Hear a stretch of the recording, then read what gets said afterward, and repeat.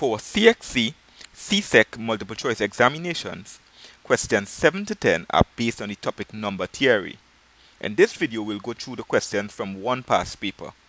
To get the most out of this video, pause the video here and resume when you have the answer for each one. Give it your best shot, and if you really cannot answer any of the questions, then narrow it down and guess.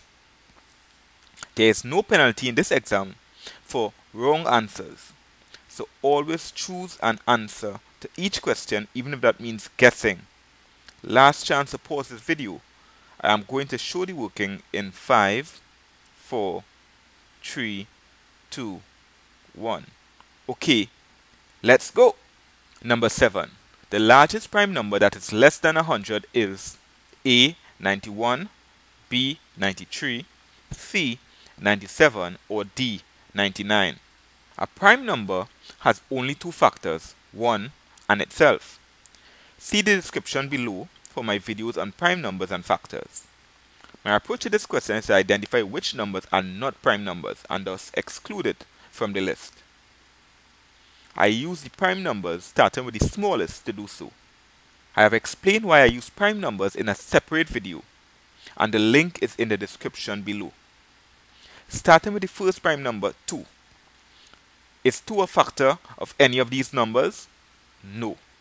Multiples of 2 are all even numbers and end in either 0, 2, 4, 6 or 8. None of these numbers are even. The next prime number is 3. If the sum of the individual digits in a number is a multiple of 3, then the initial number is also a multiple of 3. In 91, 9 plus 1 is equal to 10. 10 is not a multiple of 3, so 91 is not a multiple of 3. 93, 9 plus 3 is equal to 12. 12 is a multiple of 3, so 93 is also a multiple of 3. Thus, 93 is not a prime number and we can cross it out. 97. 9 plus 7 is equal to 16. 16 is not a multiple of 3. 99. 9 plus 9 is equal to 18. 18 is a multiple of 3, so we cross 99 out. So the answer is either 91 or 97. 5. The multiples of 5 all end in either 5 or 0. So none of these numbers is a multiple of 5. 7.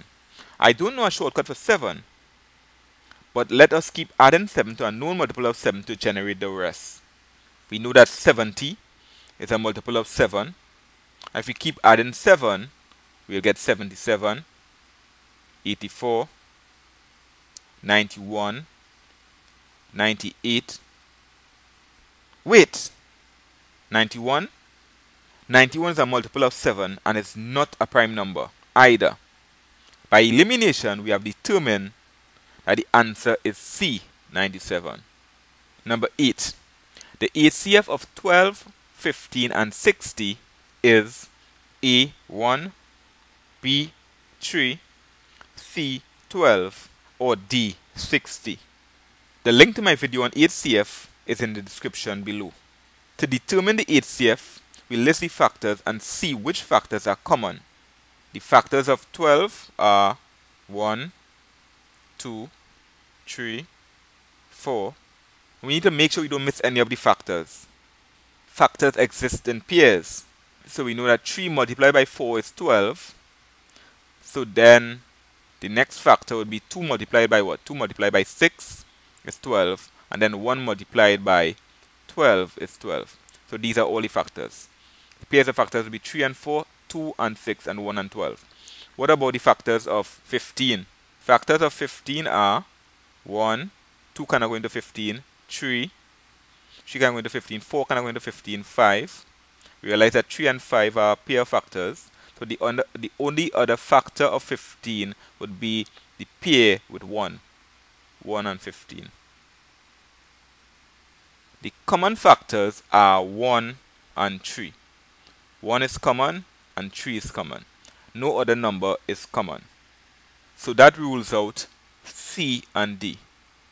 Both 1 and 3 are factors of 60. So 1 and 3 are common factors to 12, 15 and 60. The highest one though is 3. The answer is B. Number 9. By the distributive law, 49 multiplied by 17 plus 49 multiplied by 3 is equal to A. 52 plus 66, B. 52 multiplied by 66, C. 49 plus 20, or D. 49 multiplied by 20. The distributive law says that multiplication is distributive over addition. That is, 5 multiplied by 3 plus 1 is the same as 5 multiplied by 3 plus 5 multiplied by 1. In this case, we are given 49 multiplied by 17 plus 49 multiplied by 3. This is equal to 49 multiplied by 17 plus 3.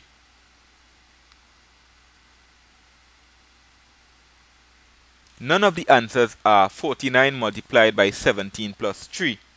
But if we simplify using BODMAS, working out the bracket gives us 49 multiplied by 17 plus 3 is equal to 20. which is the answer D. The value of the digit 5 in the number 537 is A. 5, B. 100, C. 500, or D. 5000. The digit 5 is in the ones, tens, hundreds column. So the 5 represents 5 hundredths. So the answer is C.